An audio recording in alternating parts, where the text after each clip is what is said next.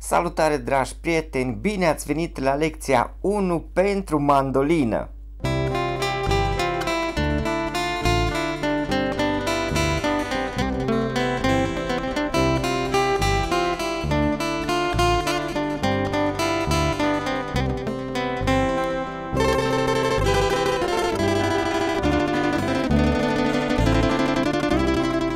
După cum știți și după cum ați văzut pe canalul de YouTube Jesus Generation Arad, ați observat că sunt pasionat de instrumente.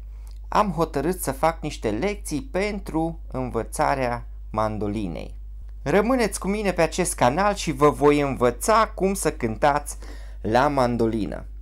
Haideți să privim la acest instrument. Haideți să vedem cum este el construit. În primul rând are o cutie de rezonanță. Acesta este griful mandolinei cu tot ce este pe el. Are cheițe de acordat. Are un prăguș, acest plastic alb care este foarte important. Iar în această parte este sistemul de prindere a corzilor și are un înălțător peste care trec corzile. Mandolina are 8 corzi. Dar dacă privim mai atent, vom vedea că ele sunt două câte două grupate.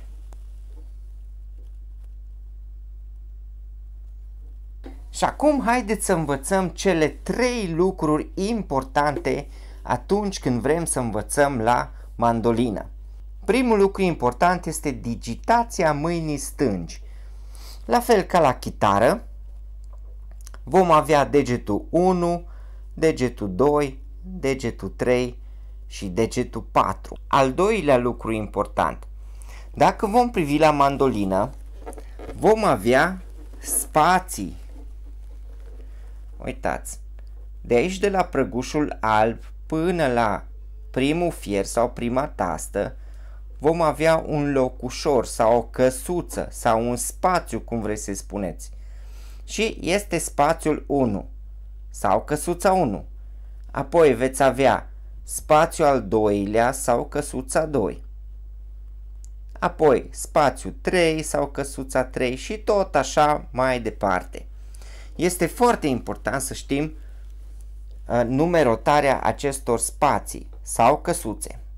Iar al treilea lucru important sunt corzile sau cum sunt ele acordate. După cum am spus și mai devreme, mandolina are 8 corzi, dar ele sunt grupate două câte două. Astfel că primele două corzi se acordează nota mi. Și atunci când vom cânta, vom apăsa cu degetul pe amândouă corzile. De exemplu, dacă vrem să prindem o notă, vom apăsa pe cele două corzi.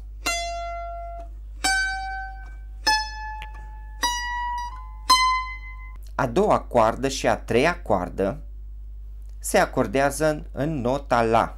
Următoarele două corzi se vor acorda în nota Re, iar ultimele două corzi se vor acorda în nota Sol.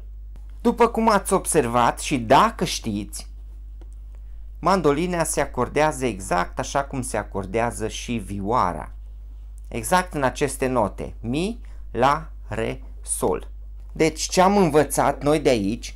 Am învățat că corzile sunt grupate, iar în acest fel vom avea patru grupuri de corzi.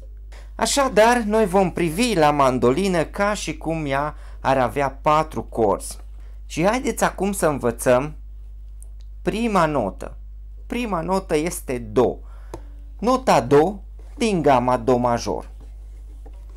Nota Do o găsim aici pe ultimile două corzi, adică pe grupul 4 de corzi, în căsuța 5. Noi o să o prindem cu degetul 3.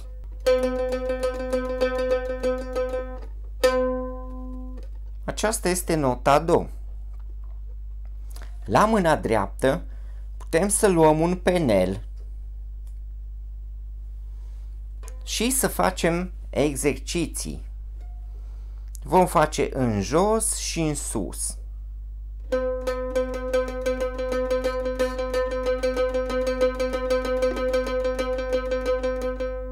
Acesta este primul exercițiu pe care trebuie să-l faceți, dar atenție! Trebuie ca mâna, mâna dreaptă, să fie aici așezată pe, pe acest înălțător. Deci uitați în această poziție. Bun. Așa o să așezăm mâna.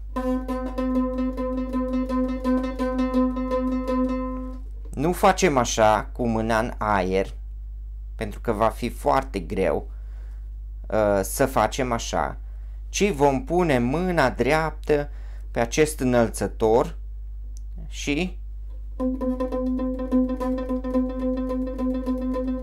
așa vom exersa nota Do.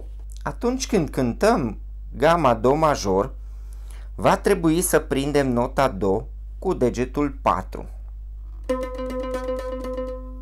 Nota Re o vom prinde pe grupul 3 de corzi și vor fi corzi libere. Nota Mi vom prinde pe căsuța 2 cu degetul 1 pe grupul 3 de corzi. Nota Fa tot pe grupul 3 de corzi cu degetul 2, căsuța 3.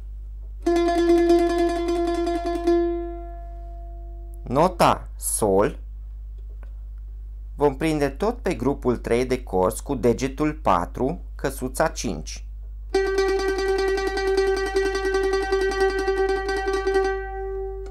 Sunetul La vom prinde pe grupul 2 de corzi, corzi libere.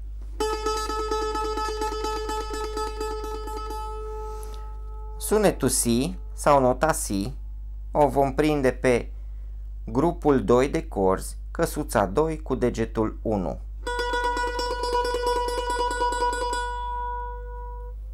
Și Do de sus pe grupul 2 de corzi, căsuța 3, degetul 2. Și acum vom face gama Do major puțin mai repede.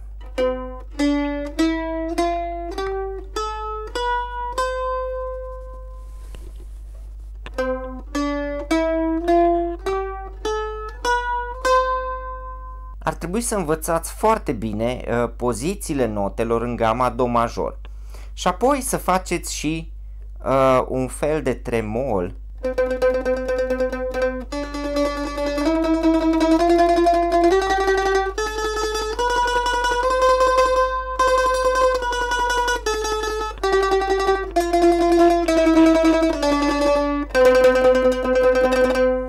În următoarea lecție vreau să te învăț cum să cânți un cântecel cu această gamă pe care tu o vei învăța. Vă doresc mult succes în studiul acestui instrument și Dumnezeu să vă binecuvânteze!